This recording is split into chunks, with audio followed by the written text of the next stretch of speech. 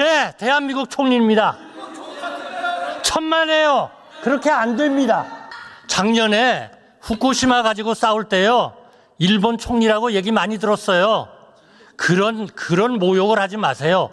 국민을 움직이는 정치의 힘은 모욕과 능멸에 있는 게 아닙니다. 총리님 혹시 이거 자- 리플레이 알고 계시나요? 제가 지금 잘 안 보입니다. 이게 지금 이 사도광산 관련된 리플렛입니다. 그래서 이 관- 관련돼서 안내 책자라고 해서 이거 저희가 입수해 왔는데요. 이곳의 내용을 보면 반도인은 원래 둔하고 기능적 재능이 매우 낮다. 극히 낮다. 반도인 특유의 불결한 악습은 여전히 바뀌지 않아 위생관념을 보급하기 위해 노력해야 한다. 이게 우리나라 폄하 비하 발언 아닙니까? 폄하한 것이죠. 그러나 우리가 그 대한민국의 그 노동자들이 이 동원돼 가지고 가서 일하는 것에 대한 그 전시를 해달라고 요청을 하니까 같이 들어있는 그 전시를 하기 위한 그 두 개 다가 적혀 있는 한국 동원된 노동자가 강제적으로 일을 했다는 것을 표현한 것과 지금 의원님께서 지적하신 그런 내용들이 같이 들어있기 때문에 전시를 한. 총리님, 그러면 요거를 저는 이 빼고 리플렛은 보셨습니까? 그럼 혹시 혹시 이 리플렛이나 이 소위 이 제가- 도쿄 제가 보셨죠? 여기, 제가 여기에 다 같이 도쿄 거, 산업유산정보센터에 어, 비치된 번역 번역까지 한 거 다 가지고 있습니다. 그러면 이 내용을 보고도 분노하지 않으십니까? 자, 분노하지요. 분노하지요. 그러면 왜 항의를 안 하셨어요? 분노하죠. 사도광산- 그러나- 사도광산이 문- 세계문화유산 등재위원회 등재될 때 반대 의견 한마디만 하셨어도 등재 안 됐습니다. 의원님 그렇게 2015년에 군함도 제대로 표현했습니까? 일본 정부가? 군함도에서는 제대로 반영을 했죠. 강제성. 아, 그랬습니까? 자, 읽어드리겠습니다. 그렇기 때문에 총리님, 그렇기 때문에 이번에는 전시 쪽에다가 집중한 겁니다. 2015년에는 강제성만 인정을 받았지 전시 쪽을 하나도 우리가 관철을 못 시켰잖아요. 자, 아니 도, 도쿄에 천, 키, 천 킬로 떨어져 있는 그러세요. 데다가 갖다 놓아가지고 안 됐잖아요. 저는 이렇게 일본의 굴욕적인 외교 해서는 안 된다고 생각합니다. 군함도는 이 내용 그대로 말씀드리겠습니다. 군함도는 지옥섬이 아닙니다. 누가 역사를 날조하는가라는 제목으로 이 하- 산업유산 국민회의라는 법인에서 만든 자료고요. 한국 정부와 시민단체는 비참한 이미지를 상기시키려는 목적으로 인쇄물에 조선인 증용공의 가짜 사진을 사용해 기만하고 선전했다. 한국 정부와 시민단체가 기만하고 선전했습니까?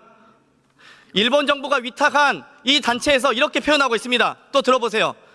조선인만 노예처럼 일시켰다는 말도 안 되는 주장에 어디에 진실이 있는 것인가? 라고 적혀 있습니다.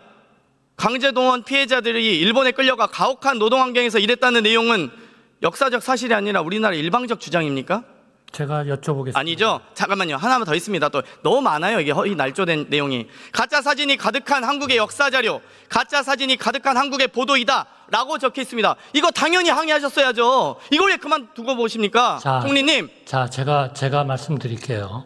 지금 의원님께서 지적하신 일본의 시민 단체가 만들었던 그 자료가 지금 전시돼 있는 겁니까? 그렇습니다. 시민단체이자 일본 정부가 위탁한 단체입니다. 아니, 그 단체가 만든 것이 지금 아이카와 그 전시관에 전시돼 있습니까?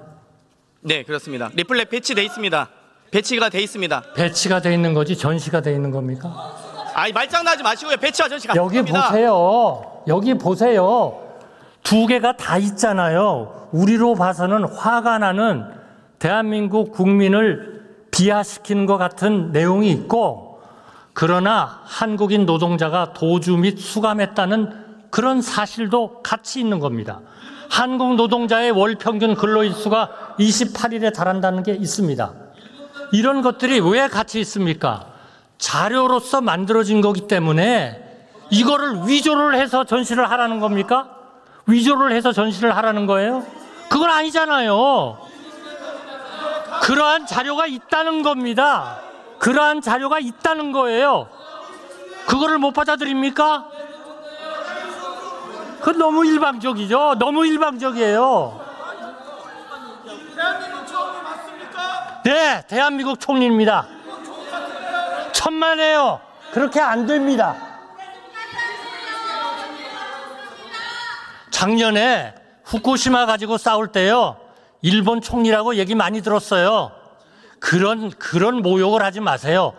국민을 움직이는 정치의 힘은 모욕과 능멸에 있는 게 아닙니다. 내려가도 됩니까? 아니요. 네.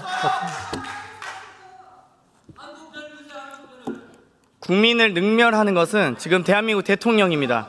아닙니다. 대통령의 공식 발언 500개 천만에요. 중에 들으세요. 천만에요. 73개 중에 독도란 단어가 천만에요. 없습니다. 천만에요. 총리 대통령의 발언 중에 국정브리핑 가십시오, 가보십시오. 공식 발언 573건 중에서 독도란 단어가 단 한 번도 안 나왔습니다. 이명박 박근혜도 독도란 단어를 썼습니다.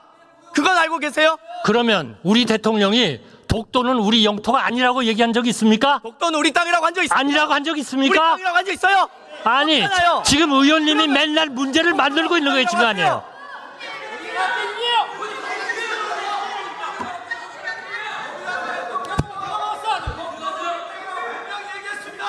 한덕수 국무총리가 발언을 마치고 답변을 마치고 자리로 돌아갔습니다. 더불어민주당 장경태 의원이 답변자석을 향해 마주하던 단상의 방향을 의원석 정면을 향해